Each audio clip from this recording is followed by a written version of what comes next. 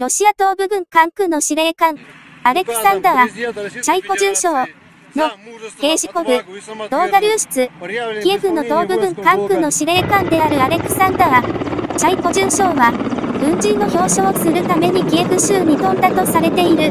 北西のロシア軍は主に東部軍管区出身者が多い。チャコ准将は西からキエフを取り囲む指揮の責任者、司令官を担当している可能性が高い。これらの部隊はあまり成功していない。もっと実践的な必要性を感じ、チャイコ准将が兵士を知った激励。そして、兵士を鼓舞してる場面です。